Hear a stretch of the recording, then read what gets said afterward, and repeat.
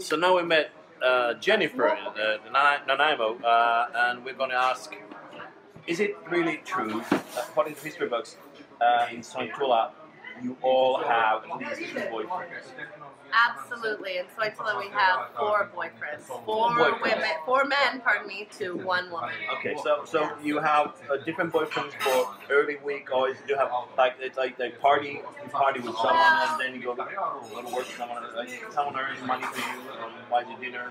Close. It's more task oriented. If Right, you, okay. you know, you want a fisherman, and then you might want a logger and a handyman. So And it's broken down. love life as well. And then the lover, right, absolutely. okay, that's and brilliant. ne- never the five shall mix. Oh, that's brilliant. Yes. Only in Sointula. Oh, what a place! What a place!